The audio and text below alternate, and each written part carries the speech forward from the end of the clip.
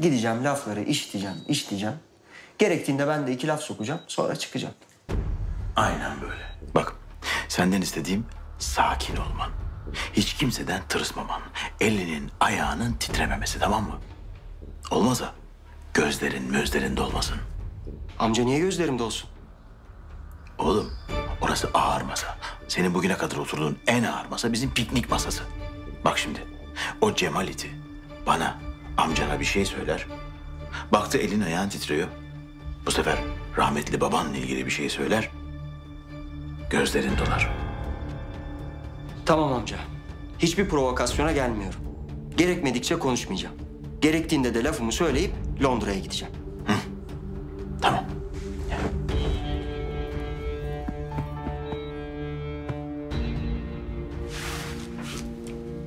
Alparslan kusura bakma oğlum. Niye amca? Seni bu işlere sokmayacağım dedim ama. Amca, bunları konuştuk bitti. Ben gidip sadece soyadımın gereğini yapacağım. Aslanım benim. Alp aslansın sen. Git kibarlığınla, beyefendiliğiyle o çakallara gününü göster.